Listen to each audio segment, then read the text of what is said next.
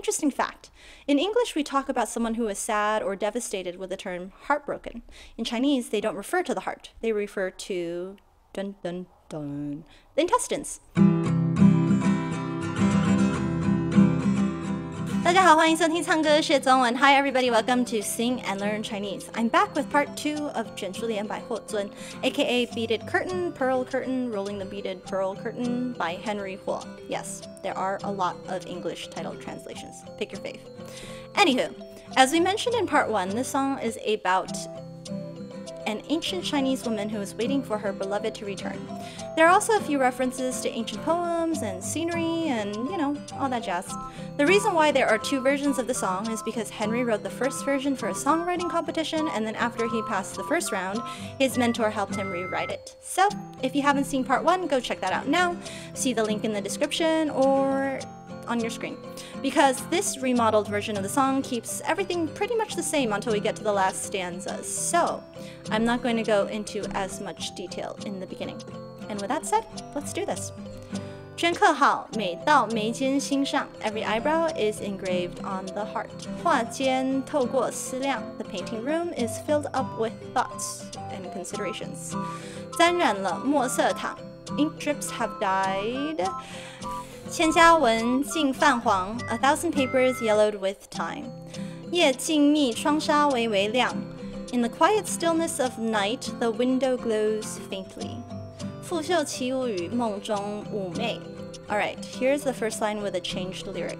The long sleeves dance charmingly as in a dream, or with dreams, something like that. 相思漫上心扉, same as before, longing winds up the doors of her heart like a vine. 犹眷恋梨花泪, she is still missing someone, or she is still being nostalgic. Pear blossom tears. 净化红妆等谁归? Quietly putting on red makeup, whose return are you waiting for? 空留伊人栩栩憔悴. The left behind person pines and grows wan. 啊，颜值香味啊，the scent of rouge.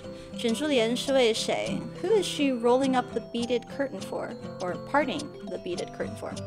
啊，高轩雾退啊，the fog surrounding the high tower or pavilion recedes. 夜月明，袖眼暗垂泪. The moonlight is bright and she uses her sleeves to cover up her tears. And now we come to the final verse. 细雨酥润见烟外绿杨. The crisp rain sees the green poplars beyond the smoke. 倦起愁对春伤, tired and worried about spring injuries, something like that.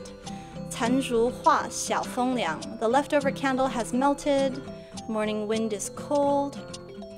归雁过处留声长, the returning wild geese flying past leave behind a long trail of calls.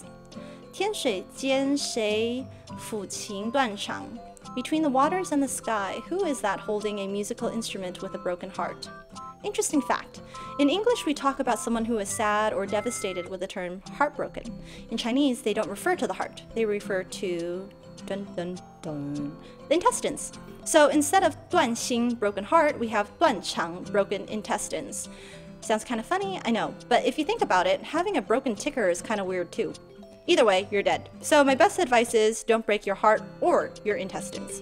Instead, remember to sing happy songs and I will see you in the next video. Until we sing again, take care.